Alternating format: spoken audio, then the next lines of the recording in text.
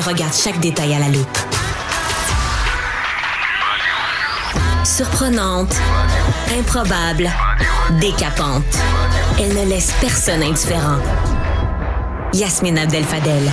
Le fameux comité des sages a enfin été nommé. On a dévoilé la composition du comité des sages qui a pour objectif de conseiller le gouvernement sur toutes les questions de l'identité de genre. Là. On se rappelle de Mix Martin, des toilettes genrées, non genrées, tout ce débat-là.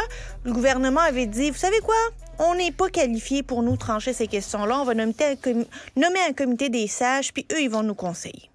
On a attendu plusieurs semaines, plusieurs mois avant d'avoir finalement l'identité de, euh, ceux qui vont composer le comité des sages. Ça va être Diane Lavallée, qui était ancienne présidente du Conseil du statut de la femme, Dr Jean-Bernard Trudeau, médecin de famille, et Patrick Taillon, professeur en droit constitutionnel. Ouais, ouais. Trois personnes qui ne représentent ni les trans, ni les non-binaires, ni la communauté LGBTQ, qui vont venir conseiller le gouvernement sur les non-binaires, sur les trans et sur la communauté LGBTQ.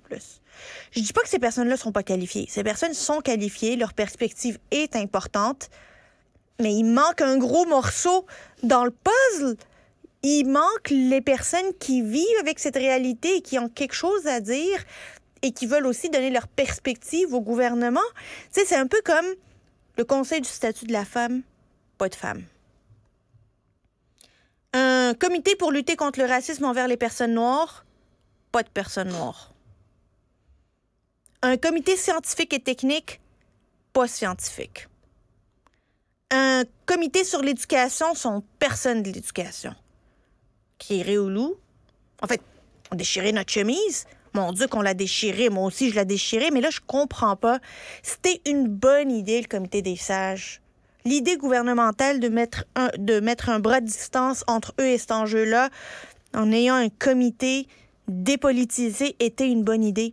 Pourquoi se tirer dans le pied en ne nommant pas les personnes concernées, au moins un représentant, quelqu'un qui n'est pas militant, mais qui peut venir donner cette perspective-là, je comprendrai jamais comment le gouvernement réfléchit en cette fin de session. Il est vraiment temps que ça finisse.